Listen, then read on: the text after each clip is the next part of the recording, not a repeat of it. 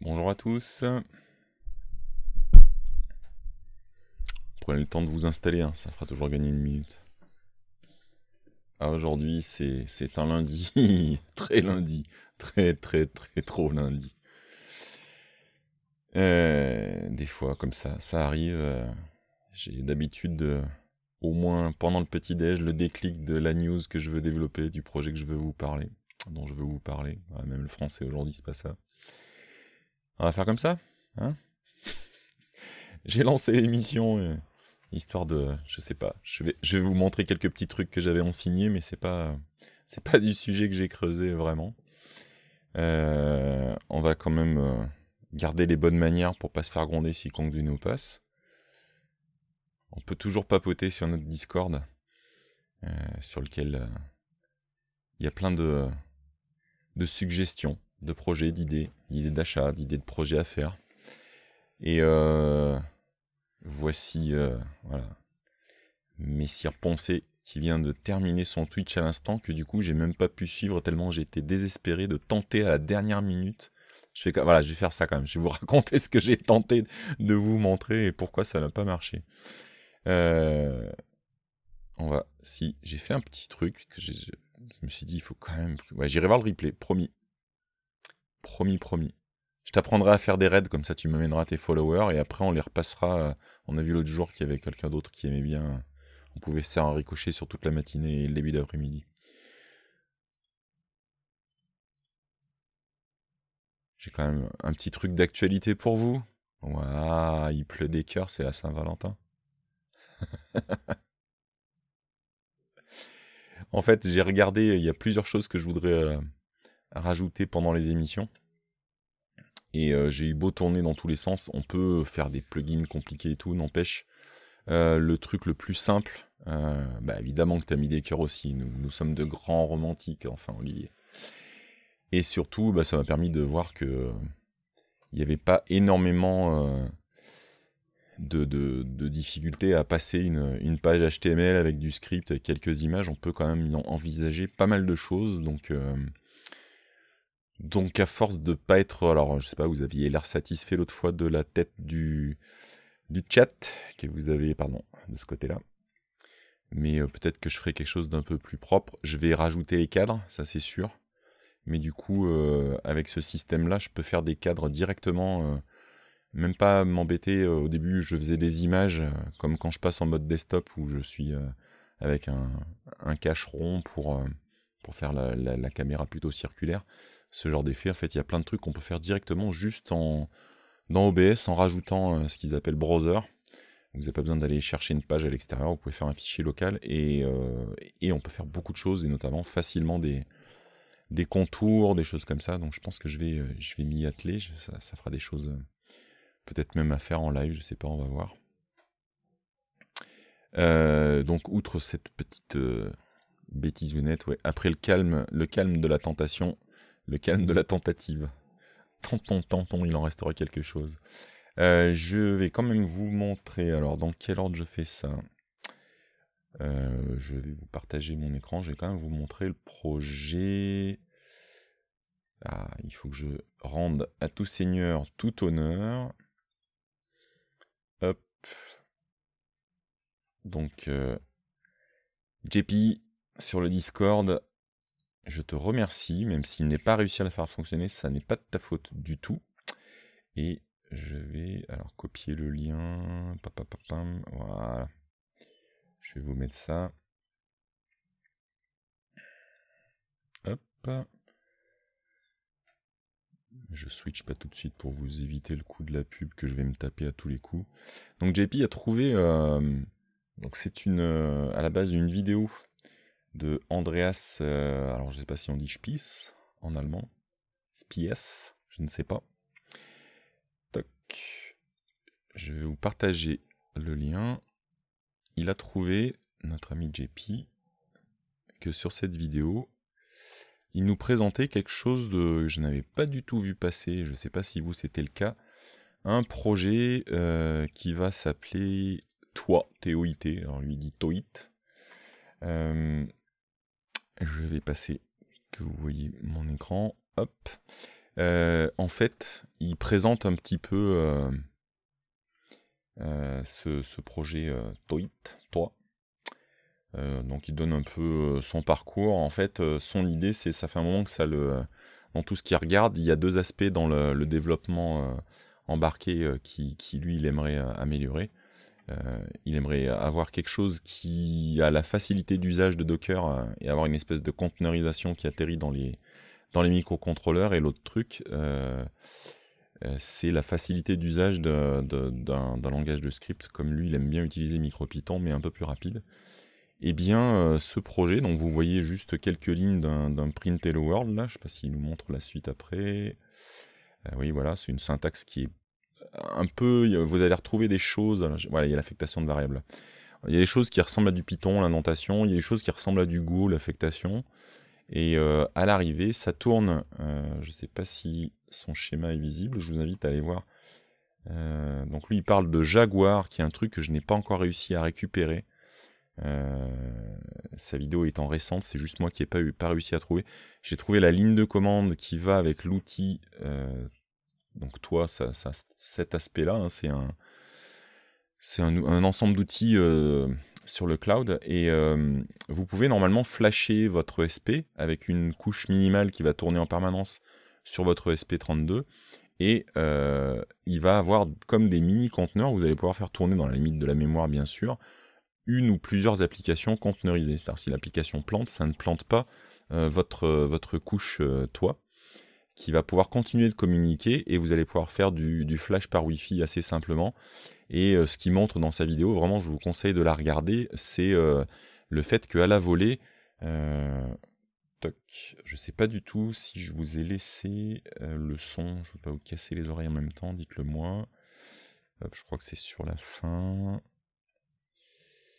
où il fait de la mise à jour. Ah, c'est pas là, il fait de l'I2C. Voilà. Donc là, c'est l'infrastructure que je vous ai rapidement décrite. Hein. On, prépare euh, sur la machine, il y a un langage, c'est précompilé, mais il y a quand même une possibilité d'interprétation. Donc c'est lui, c'est ça qui l'intéressait. Et toc toc, c'est pas le fast qui m'intéressait.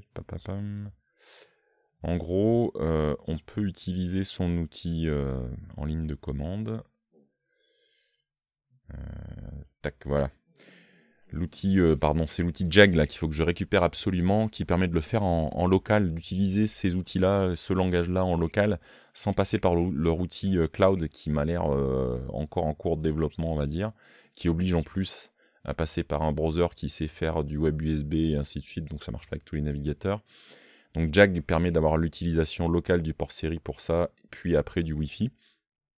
Et il y a un mode watch où en fait on peut modifier à la volée. Donc là, il montre euh, euh, qu'il est en train de faire un, hello, euh, hello test et puis ben, il, va basculer voilà, entre les Hello Andreas, Hello World et tout ça. Donc vous voyez que le watch va choper à la volée en fait la modification. Donc c'est assez intéressant pour du prototyping.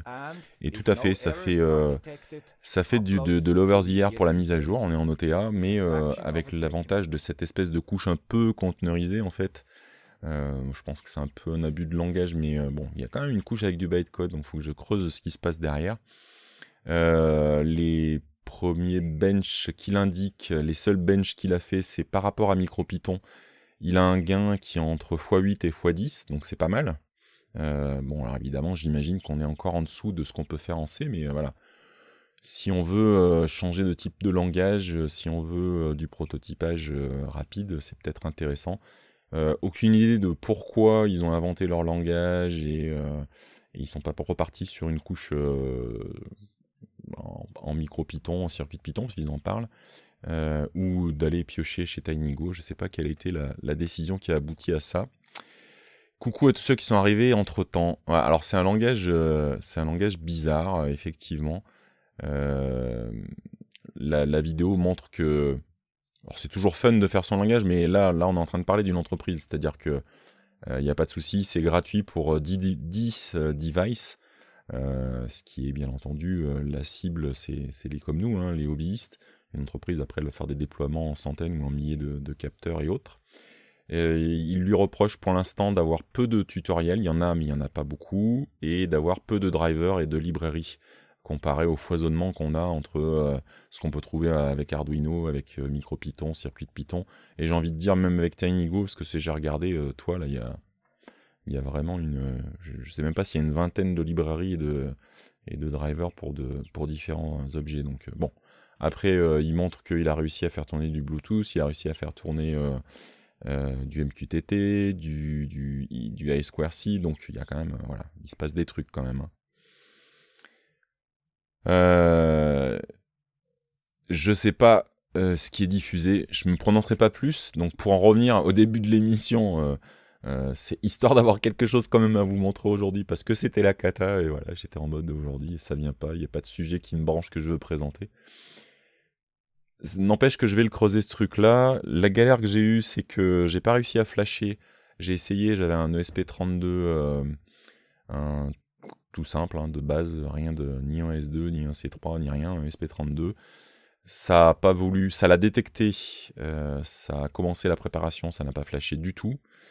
Euh, j'ai fait avec un M5 stick de chez M5 Stack. j'ai pu attaquer le flash c'est-à-dire qu'il a réussi à mettre la couche euh, de base du firmware sur le, M5 Stick. Il a pu lui mettre le settings euh, pour le côté Wi-Fi. Et après, la couche de com, ça s'arrêtait là, ça, s'arrêtait à 34%. Je leur ai fait un message, savoir si euh, je peux faire quelque chose de particulier. J'ai vu que, même si j'avais pas trouvé leur outil JAG, j'ai trouvé la ligne de commande qui m'a permis de descendre, par exemple, la vitesse d'utilisation du port série pour voir si ça améliorait le truc. Ça n'a pas marché. Donc je vous avoue que c'était un peu speed, j'ai pas eu le temps d'aller jusqu'au bout de toute façon. Euh, histoire que, voilà, comme c'est, euh, on est en, pleine, en pleine émission de, je sais même pas ce que je mettrai dans le résumé, je vais vous montrer autre chose qui est arrivé, un achat impulsif du n'importe quoi, dont j'ai le secret. Hein. Euh, voilà, c'est ni plus ni moins qu'une PS3 Hail déjà euh, modifié pour avoir la partie infrarouge là, qui permet d'utiliser des LED justement infrarouges pour faire du repérage euh, euh, du repérage de, ces LED pour faire du head tracking. Donc j'ai été livré il y a quelle heure il est? Il est 13h20, donc j'ai quand même lancé l'émission, mais j'ai été livré à midi et demi, donc j'avais une demi-heure avant l'émission pour essayer. J'ai réussi à installer le logiciel, euh, puisque ceux qui euh, sont sur euh, la communauté de joueurs, hein, n'est-ce pas, la bande à la production de moi, savent que j'ai abandonné mon Shadow PC, c'était quand même trop cher. Du coup, j'ai réinstallé un Windows sur la bécane que j'ai sous le bureau là pour, bon, elle n'est peut-être pas aussi puissante, mais elle fera l'affaire. Et j'ai pu utiliser OpenTrack, qui est un logiciel qui... Euh, alors il y a deux, deux, outils, il y a les drivers qui sont avec euh, CLTest, et puis après vous installez OpenTrack, mais je vous ferai une démo complète parce que là je suis pas loin de le faire fonctionner. Ça fonctionne sur la bécane, je vois les trois LED, j'arrive à calibrer, ça fonctionne. Euh, ça marche. Ouais, c'est dégueulasse un Windows. Alors, j'aurais dû dire, c'est ma console de jeu. Voilà. C'est juste pour avoir des, des jeux en local. Je, je suis très dubitatif de la suite de mon abonnement sur le, aussi le Nvidia GeForce Now qui, euh, depuis qu'ils ont sorti une offre payante plus chère, visiblement tous ceux qui ont les packs fondateurs de base pas chers, bah, on galère, donc euh, je sais pas si ça va perdurer. Et de toute façon, ça marche que avec, euh, je dirais pas les jeux mainstream, mais bah, tous mes petits jeux indie que j'adore, ou même ceux où ils sont en opposition, puisque c'est Nvidia avec certaines marques de jeux, ben on les aura jamais. Donc il me faut quand même une bécane du coup euh, Windows euh, quelque part. Le Shadow PC faisait l'affaire mais c'est hors de prix. Donc euh, ben, je remonte ma console de jeu Windows. Donc j'ai du tracking qui commence à fonctionner. le PS3 Hey, eh ben c'est ça, c'est ce que je dis Aurélie, c'est ça, ça va. L'autre morceau que je peux vous montrer, Ouais, ouais, il n'y a rien de do it yourself. Hein. J'aurais pu, hein. il y a plein de projets. Euh, j'ai complètement craqué. Ça m'a coûté super cher. J'ai payé les douanes alors que le vendeur disait qu'il avait pris en charge les douanes, donc il faut que je lui réécrive. Donc là, il a juste une, euh, un cadre métallique qu'on peut fixer, donc il faut que je vois comment je vais le fixer exactement, avec trois LED. Un câble USB qui est pas terrible, euh, parce que j'avais pas les moyens de prendre une version non plus wireless, faut pas exagérer. Mais je l'envisage parce que j'ai trouvé j'ai trouvé une astuce qui permet de, choper le. Bah, en branchant les LED, on peut quand même les récupérer avec un, petit Arduino. qui va lui communiquer avec la machine, qui fait tourner un serveur, qui se fait passer pour un open track. Donc la suite plus tard. Et je pouvais pas l'imprimer, parce que j'ai toujours pas remis en route cette putain d'imprimante 3D, on est d'accord. Voilà, c'est l'émission de la loose. Je, vais l'appeler Carmouze. L'émission Calme 73, c'est Carmouze Land. Gna gna gna. Hein, tu le fais bien ça d'habitude aussi, Aurélie.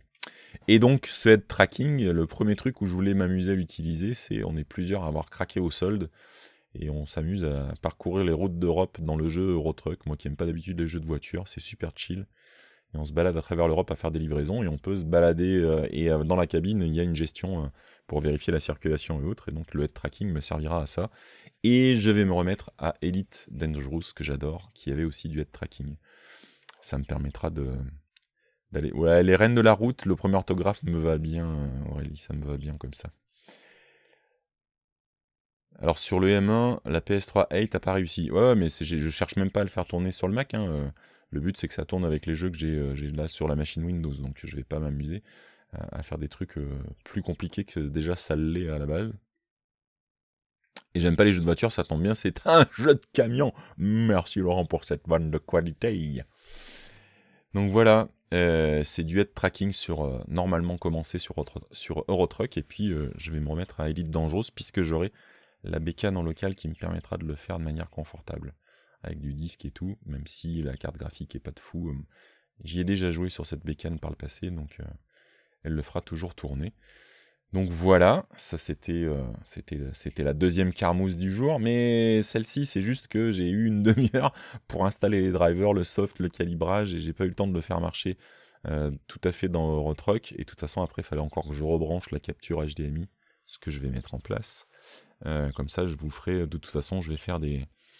Je vais faire des séances aussi, pas que de live coding, mais de live gaming. Donc comme ça, je pourrais, euh, je pourrais faire transiter, même si je peux le faire avec le Nvidia GeForce déjà aujourd'hui. Je ferai tourner la bécane dessous, ça allégera un petit peu la machine. C'est pas la faute au livreur, pas du tout, même si c'était un, s'il était très désagréable et très mal poli, puisqu'il m'a à moitié insulté au téléphone, parce qu'il comprenait pas ce qu'on se disait au téléphone. Bah, à l'arrivée, moi je suis allé poireauter un quart d'heure dehors, il est pas venu, il est arrivé une heure après. Bref, les joies de la livraison. Euh, donc là on y était presque. Alors j'ai pas encore un volant et des pédales, bien vu. Alors je sais pas pourquoi. Ah oui, pardon. Je vois donc un commentaire que vous ne voyez pas comme d'habitude. Voilà, je fais hello. Voilà puisque euh, Twitch a décidé que le mot pédale était interdit et que j'arrive pas à lui faire comprendre que dans le contexte où on parle régulièrement d'un jeu où il y a un volant et des pédales, eh ben, on est bien un peu obligé de pouvoir utiliser le, mot. Donc j'ai pas de volant avec retour de force encore, et euh, je vais sûrement, vu que c'est un jeu qui a l'air de s'installer pour faire des, soirées un peu chill, je pense qu'on le ressortira très souvent ce jeu, et je vais pas l'abandonner du tout, je vais refaire un peu du Ark et du Elite Dangerous, mais... Euh, euh, je, pense que le Rotruck va continuer. Je vais, je vais faire le... peut-être pas les vides greniers, puisque comme dit Aurélie, c'est devenu décevant, mais un truc en occasion quelque part, un volant pas forcément fabuleux, mais avec un petit retour de force et surtout le simple fait que ce soit un volant et pas une manette, c'est déjà plus sympa. Donc oui, je vous montrerai le, head tracking avec Eurotruck et Elite Dangerous après. Et pour répondre à Olivier, oui, quand on met quand on met le mot pédale, et euh, pas avec accent, parce que tu vois, ton, message n'est pas passé, si je dis pas de bêtises. Euh, voilà, je fais un hello aussi pour Goose. Voilà, il se passe des trucs, donc dans ton chat, tu te retrouves avec un message où il te dit euh, hello ou deny. Et donc dans les volants, nous avons Goose qui nous parle du Logitech Driving Force GT. Je n'ai pas, fait les, trucs d'occasion encore. Hein. J'ai pas regardé, mais oui, oui, il y, a des je pense que pour, pour du chill, tout ça, j'y mettrai 40 ou 50 balles, je vais peut-être bien trouver quelque chose quand même. Donc oui, oui. Oui, oui. Le volant que tu as, Goose, me semble, effectivement, ça, le, du moment que c'est un volant, ça suffit, quoi. S'il y a le retour de force, c'est encore plus agréable, mais même un simple volant sera toujours mieux que la, manette pour la précision du virage, c'est plus sympa.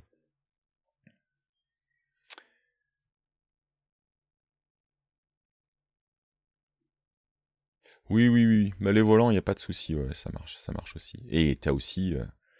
Ah, bien joué. Oh, monsieur détourne la censure. Il y a les pieds aussi. Parce qu'on peut pas dire, on peut pas écrire pédale, mais on peut dire pied. Ouais, moi je pense qu'il y a un complot. Le coup de Lévi de Grenier, c'est pas agréable et ça marche pas. Je suis sûr que c'est parce qu'elle veut pas t'acheter un volant.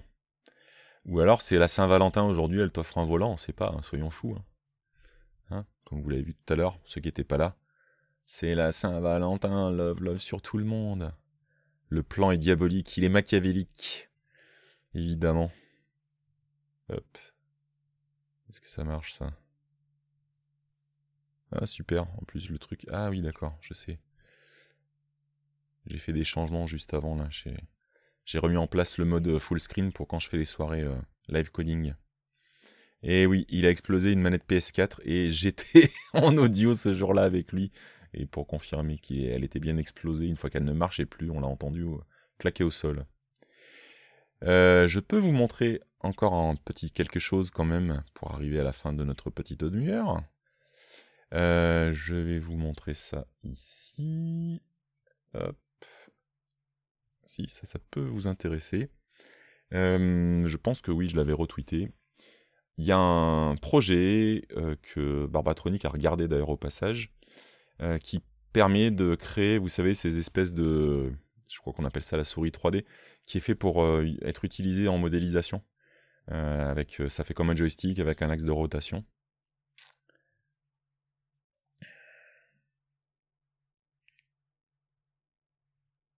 Safe for work, c'est quoi qui est safe for work? J'ai pas dit de bêtises, j'ai pas fait d'horreur. Non, non, c'est safe for work, tout va bien. et donc, visiblement, c'est fait pour fonctionner, je crois, avec Fusion, mais le Space Mouse, s'appelle. Mais hop, vous en foutez, mais je vais quand même, comme j'ai strictement rien préparé correctement par rapport à d'habitude, mais je vous mets quand même les liens. Euh, ouais, le projet est à imprimer 3D. J'ai toujours pas d'impression 3D. Mais ouais, ça peut être intéressant pour faire de la modélisation. Il paraît que c'est vraiment, quand on a l'habitude d'une Space Mouse après, c'est beaucoup plus pratique que les, tablettes et, autres systèmes à base de souris. Donc voilà, je voulais vous, partager ça vite fait, j'avais ça dans les signés. Euh, bah tiens, ça tombe bien que tu sois là Aurélie. Faut vraiment que je répare mon imprimante. honnêtement, si ce week-end j'ai quand même regardé, je me demande si... Euh, si j'ai pas un pépin, euh, j'ai l'impression que ça ne s'écoule pas correctement la partie fondue du filament et à force la buse, je pense qu'elle a mal vieilli et il faudrait peut-être que je change la buse. Ah bah c'est clair, si t'avais été dans le coin, tu en aurais rien foutu, mais ensemble, et du coup j'aurais sûrement eu une imprimante à l'arrivée qui fonctionne. Donc spécial pour euh, Aurélie, euh, on a Takasago, que je vois souvent faire des choses pour TinyGo qui euh, propose euh, un début de piste euh, pour utiliser VS Code et débugger du, du TinyGo. Donc ça peut être intéressant. Ah, je baille en direct tellement je fais rien en ce moment. Hein. c'est beau la vie. Hein. Donc je vais vous mettre le lien, je vous le mettrai bien sûr. Oula, ça commence à attaquer là dans le chat, attention là. Si, si, parmi les conneries que j'ai faites, j'ai commandé un Amigo. On en reparlera quand je l'aurai reçu début mars, donc euh, tout début mars, donc ça va être bientôt. Du risque, du risque 5. Et euh, j'ai pas commandé les extensions que de toute façon j'aurais besoin, mais c'est pas grave, on en reparlera une autre fois, vous inquiétez pas. Donc là, ouais, la capacité à débugger du TinyGo, je pense que ça peut, euh, ça peut, ça peut être intéressant. je l'ai pas testé non plus, hein. je, me le suis stocké dans les signés, je l'ai pas, je l'ai juste RT, je suis pas allé plus loin. au passage, un petit rappel de l'ami Arturo qui a fait qui a trouvé, euh, je pense, euh, voilà, qui a relayé un truc qu'il a trouvé intéressant et qui a rappelé que quand on utilise les, les puces RB2040, la puce, le microcontrôleur de chez Raspberry, on peut utiliser simultanément le built-in USB et le PIO pour en faire, euh, le PIO étant le système de, de c'est pas les GPIO, c'est le PIO de, du RP2040 qui est pilotable par, par software, on son comportement on peut le coder. Euh, on peut avoir donc l'équivalent d'un deuxième USB et faire un, USB host en même temps. Donc voilà, je voulais vous montrer ce petit côté aussi. C'est le côté install et maintenance qui fait que j'ai pas d'imprimante 3D encore. Non, non, c'est non, non, c'est juste moi ça, Aurélie. Tu peux t'acheter ton imprimante 3D euh, sans t'inquiéter. Tu es beaucoup plus sérieuse que moi et tu t'en occuperas. Il n'y a pas beaucoup de maintenance à faire, mais mon imprimante, elle commence à avoir, je crois, 3 ans. 4 ans. Et euh, je, m'en suis servi pour des petits projets au début. Et puis après, j'avais un peu laissé tomber. Le Covid est finalement m'a pas relancé là-dessus. Et voilà, et après derrière, voilà, c'est moi. T'inquiète pas. Et pour faire un keylogger, ouais, le RP 2040, ça peut être quelque chose de sympa. Il faut changer la buse en plus de temps en temps, et je pense qu'elle est arrivée au bout de ce qu'elle savait faire. il y a d'autres trucs qui ne me vont pas sur cette imprimante au final. Euh, S'il y en a qui veulent une, micro Delta euh, de chez euh, Micro Delta Reworks, j'ai perdu. C'est la Micro Delta Reworks et le nom de la marque, j'ai oublié. Elle, elle, sera sûrement bientôt à vendre. Hein, s'il y en a que ça branche, je peux faire un lot. Donc oui, je vais revenir sur du, sur du que je maîtrise mieux, le cartésien, ça me perd trop. C'est très joli, mais. Ouais, ouais, il y a la CR10, il y a... c'est Emotion Tech, merci euh, Olivier, tout à fait, qui fait des beaux produits. Par...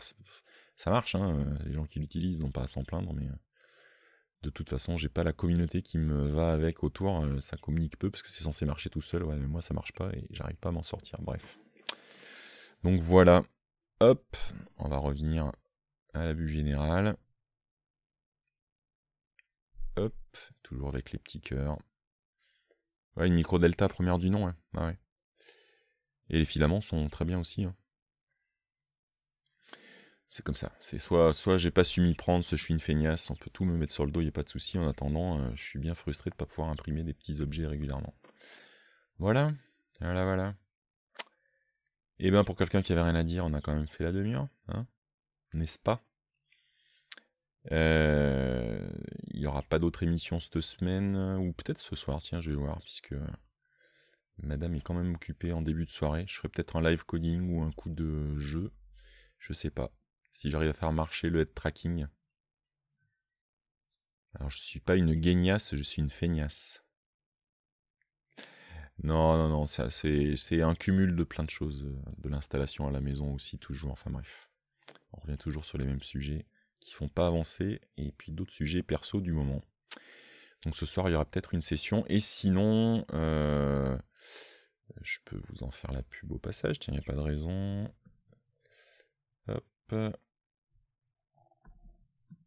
J'ai attaqué vendredi dernier pour ceux que ça, que ça branche. Il y en a certains qui sont passés. Avec l'ami Philippe, on a lancé une nouvelle chaîne qu'on a appelée Honolwazi. Hop. Euh, où on va essayer d'aborder. Alors, on a commencé avec une, initiation à Gitpod, et puis on va continuer avec des sujets poussés euh, avec Gitpod, puis on verra si ça nous emmène sur d'autres thèmes. Mais l'idée, c'est de faire un petit peu des, des lives le plus éducatifs possible, où on peut repartir avec des choses qu'on va pouvoir tester, essayer, proposer des exemples et des tutos au fur et à mesure.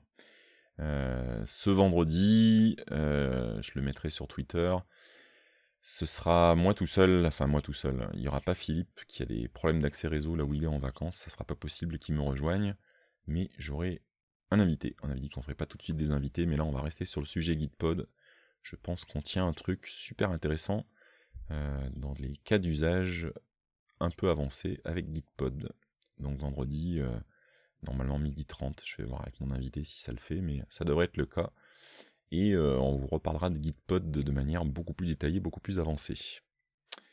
Euh, ouais, je sais pas si c'est la 4G avec la neige ou le point où il accède d'habitude qui marche moins bien.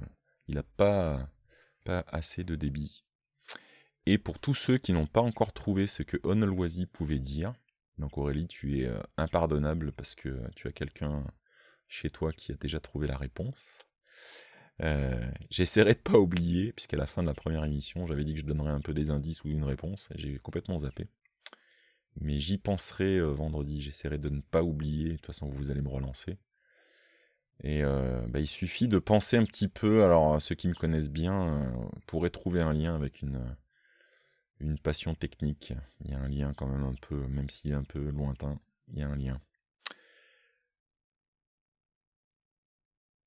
Non, il a pas un cerveau bizarre, Laurent. Pas du tout. Là-dessus, euh, c'était. Non, non, non, c'est rien de. Euh, il a eu la déduction par le bon élément, euh, très logique et tout. Non, non, non, pas du tout. Des fois, il est tordu, ça arrive, mais pas, pas du tout. Allez, je vais vous libérer en sachant que je m'excuse de ne pas avoir eu de sujet plus préparé cette semaine. Mais voilà, le sujet du head tracking, je vais essayer d'en faire quelque chose de plus développé parce que j'ai évidemment vu qu'il y avait des API et je pense qu'on peut l'utiliser dans plein d'autres choses. Donc je vais commencer par le côté jeu, et puis je verrai si j'arrive à le dériver sur d'autres, euh, sujets. Et je vais quand même creuser cette histoire de toi avec le module qu'ils appellent Jaguar en local. Euh, le fait d'avoir. Euh, je, je, suis pas chaud pour un nouveau langage, je vois pas l'intérêt, mais le coup du, du service OTA avec l'application conteneurisée qui peut être mise à jour même quand elle crache, c'est pas mal ça. Voilà, je vous souhaite une excellente journée, une excellente Saint-Valentin à tous les amoureuses et les amoureux. Et tous les autres aussi. Passez une excellente journée. Et puis, ben, on se revoit pour ceux qui le veulent sur la chaîne Honolwazi vendredi. Et comme c'est une, émission de la loose, de la flemme et tout ce que vous voulez, je vais même pas me lancer à faire un raid d'ailleurs, tellement c'est la honte. Allez, plein de bisous. À très bientôt et euh, merci euh, d'être passé aujourd'hui. À bientôt, salut.